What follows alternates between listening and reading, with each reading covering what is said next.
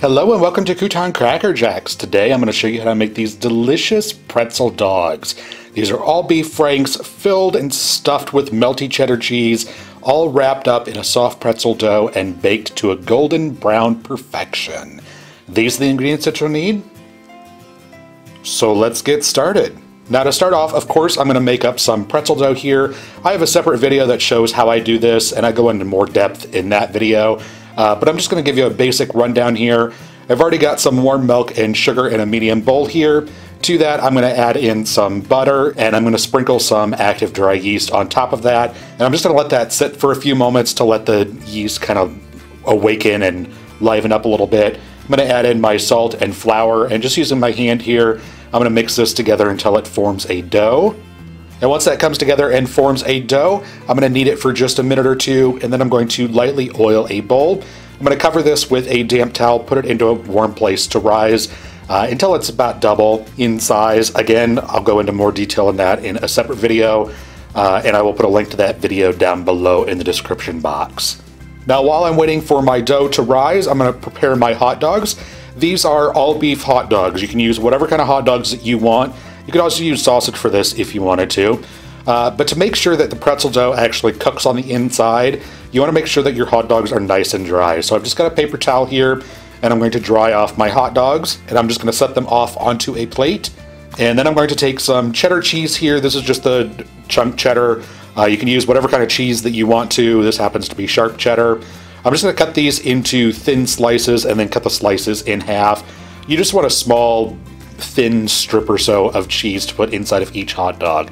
And you don't have to stuff these with cheese if you don't want to. You can just uh, go ahead and leave them plain and then use a cheese sauce uh, as a dipping sauce. That's perfectly fine. I just like to stuff mine because, well, I'm a cheese addict. But all you need to do to stuff these is to slice through your hot dog. Uh, you don't want to cut all the way through. You want to leave uh, a little bit connected at the bottom so you know your hot dogs don't come apart and you have two halves. Uh, but you just want to cut a little slit just deep enough that your cheese slice will fit in there. Just go ahead and gently put your cheese into the hot dog and then go ahead and set that off to the side. Now that we have the hot dogs done, I'm going to go ahead and get my baking soda solution done.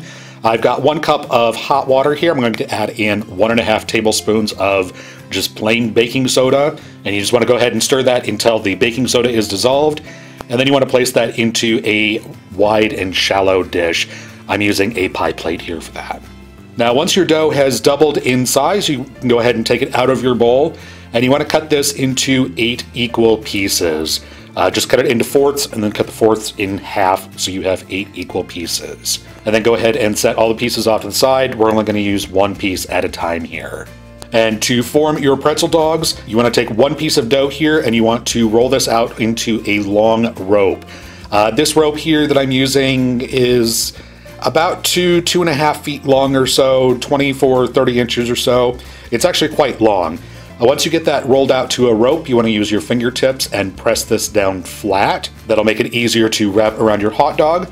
And then you want to take your dog and starting at one end, you want to place your dough and leave the end underneath the hot dog on the bottom part of the hot dog. And you want to gently roll this dough around your hot dog. Make sure that the dough wraps or overlaps itself a little bit on each turn. And you just want to keep rolling this until you get all the way to the other end. And once you get to the end, go ahead and stretch it a little bit so the uh, other end sticks at the bottom of your hot dog.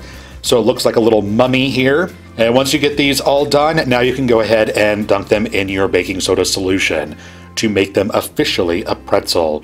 Just take them one by one, roll them in that solution, and then place them back onto your baking sheet. And then before these have a chance to dry, uh, I usually only do a couple at a time here. You want to sprinkle these with some pretzel salt. This is just a coarse grade salt. Uh, you can find this in most grocery stores. You could also use kosher salt if you really wanted to, but pretzel salt is ideal. Uh, pretzel salt's really cheap, so might as well use it.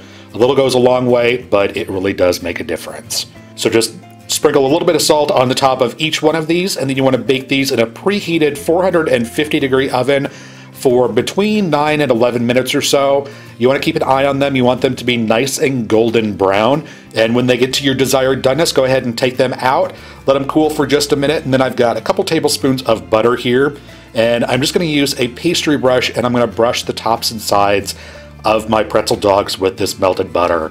This is going to make my pretzel dough or the pretzels wrapped around the dogs super soft. It's going to flavor these so amazing.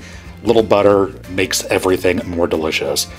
And then you can go ahead and serve these up any way you so choose. I like dipping mine in ketchup.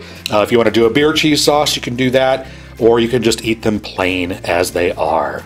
And there you go. That's how easy it is to make pretzel dogs at home. I hope you guys give this recipe a try. If you do, be sure to let me know how you like it down below in the comments. And if you like this video, be sure to give it a thumbs up. I would greatly appreciate it. Subscribe for more deliciousness and keep up to date on all my latest videos. Thanks so much for watching, and we'll see you next time.